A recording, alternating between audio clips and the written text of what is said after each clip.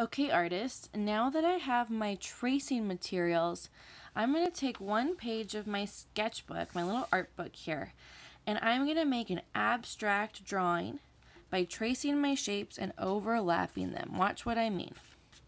Let's say, remember that cool triangle I made? I'm going to trace my triangle right up here in the paper because that's where I want it to go.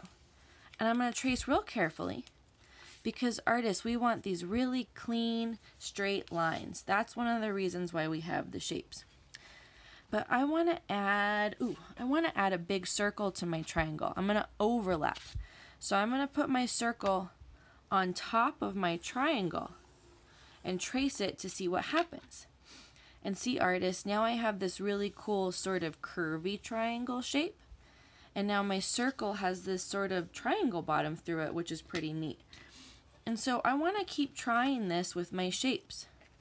I want to try overlapping them to see what kinds of new shapes I can make.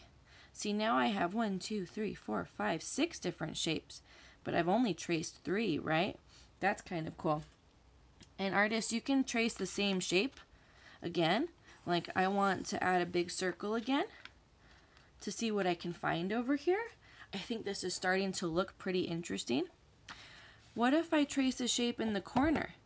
I don't even have the full shape. What happens if I just trace one part of it?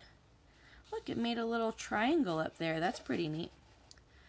Now, artists, I will warn you, you can trace too many shapes pretty easily. So if you are tracing a bunch of shapes and overlapping a bunch of them, you'll end up with a whole lot of lines and it can be kind of hard to see um, the shapes that you're working with. So see how now I have quite a few shapes, but I still have some blank space. That's what we're looking for, artists.